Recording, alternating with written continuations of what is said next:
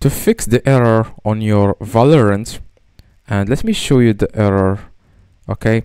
Your account does not meet the following requirements in order to play HVCI enabled.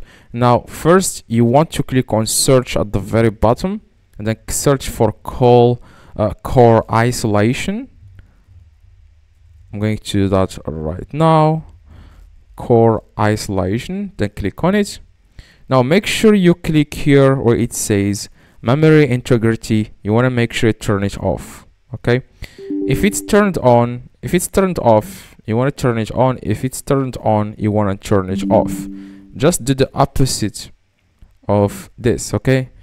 Um so that's all you need to do. Uh, you can also click on review and compatible drivers. You can upload you can like um, solve problems with incompatible drivers here.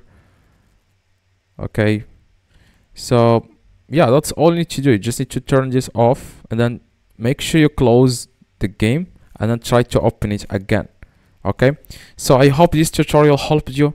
Please if it does let me know in the comments. If it doesn't work let me know in the comments. Just go to the comments below and tell me it doesn't work. I may try to give you another solution and see you in the next tutorial